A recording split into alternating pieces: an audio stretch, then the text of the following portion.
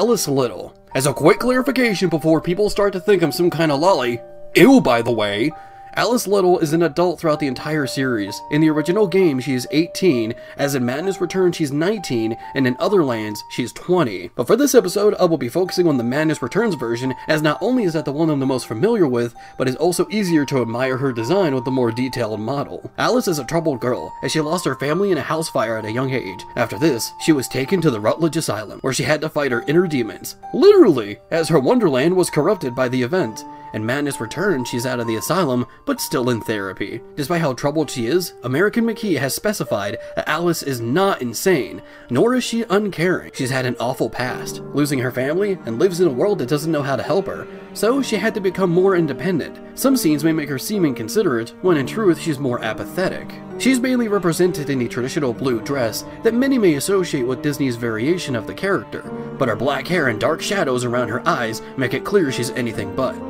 In the original game, her hair was brown, but I feel as if black works better for her personality and setting the contrast between a cute, family-friendly Wonderland and American McGee's version. In Madness Returns, Alice has multiple dresses that can change depending on her location.